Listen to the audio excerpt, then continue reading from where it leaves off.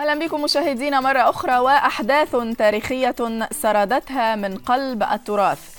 هي ليست كاتبة ولا روائية بل فنانة صاغت بخيوطها شخصيات لبنانية جنوبية لتروي حكايات ملوك وملكات كانت لهم قوة فاعلة غيرت وجه التاريخ. إنها مصممة الأزياء اللبنانية هنادي عبود.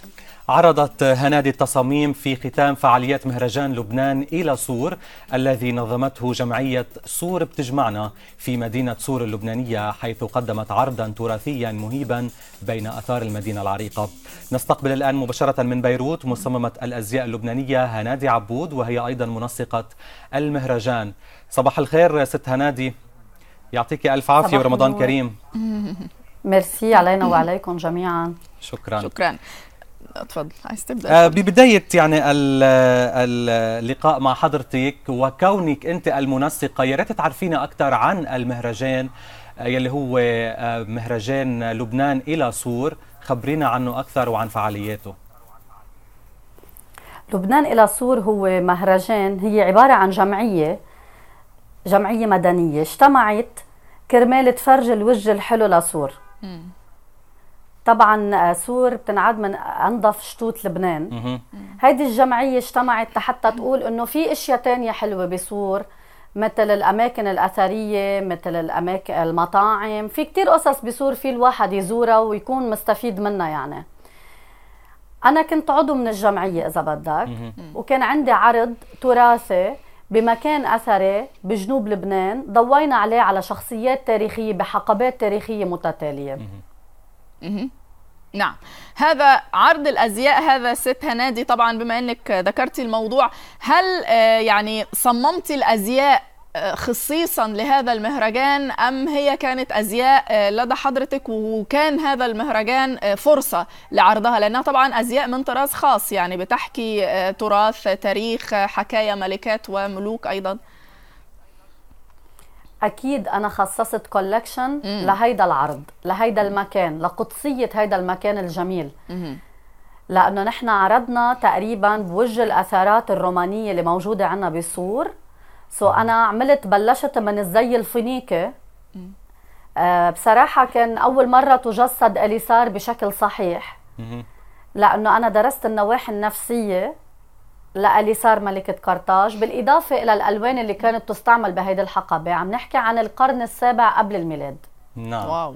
آه هنادي نحن هلا عم نشوف بعض الصور كنا على الشاشة. مم. ومثل ما حضرتك قلتي في آه، يعني عدة ملوك وملكات آه، اليسار وأوروبا وكثير غيرهم. آه خبريني عن يعني أهم الفساتين أو أو اختاري بعض الفساتين بس هيك تنتكلم عنها أكثر آه شو هي الألوان اللي كانت موجودة؟ شو اللوك كله يلي كان موجود يلي بجسد كان آه هال هالأمور أو هالشخصيات. اليسار ملكة قرطاج اليسار طلعت منصور من القرن السابع قبل الميلاد. ارتدت الزي الفينيقي. آه، تأثروا الفينيقيين بالكسرات اللي اشتغلوا فيهم الفراعنة مثلا أيام الفراعنة. آه، اشتغلوا الألوان الأرجوانية المشهورة اللي شفناه باللون الاوبرجين اللي لبسته ملكة جمال لبنان رهف عبد الله.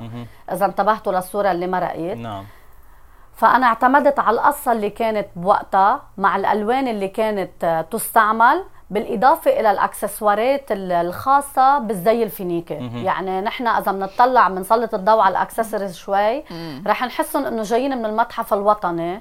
طبعا شاركني بهذا العمل كثير ناس من ضمنهم دكتورة رانيا صحيح. عمرو اللي هي دكتورة محاضرة بالجامعة اللبنانية آه، بكلية الفنون. هي اشتغلت accessoires فينيكي للزي الفينيكي. نحن جسدناه الأقرب إلى الواقع يعني. أها هل نقدر نستطيع بأن نقول أنه فتاة الجنوب عموما ليها مثلا خصائص مميزة في أزيائها وتراثها عن بقية لبنان ست هنادي؟ آه زي اللبناني en général تأثر بالمراحل والحقبات التاريخية بكل العوالم اللي كانت حواليه وكان الفينيقيين منذ الازل اللبنانيين إذا بدك الفينيقيين بالأخص أه. بحارة بجولوا كانوا يتأثروا بالمدن اللي حواليهم وكان عندهم تبادل تجاري قوي. فكان الزي لا مختلط نوعا ما. الزي الجنوبي فيك تقولي لأنه زي قروي آه، كان شوي مغلق أكثر من غيره.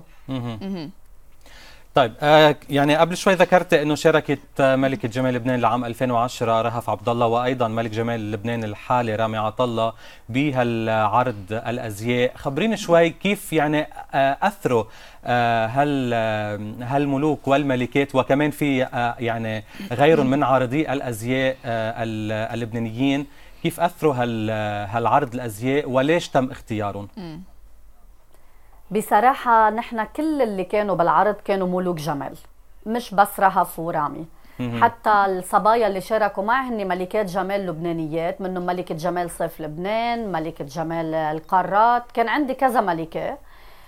آه، أنا أصريت يكونوا ملكات لأنه نحن عم نجسد شخصيات تاريخية ذو شأن. يعني ما كنا عم نجسد أي شخصية. حتى بس ما نركز على أليسار.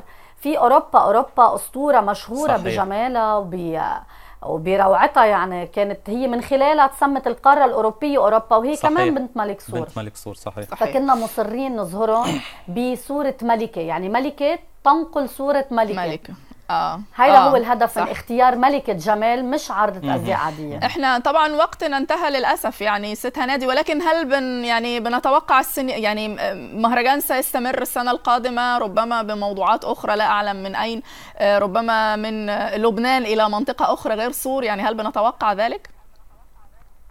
ليش لا؟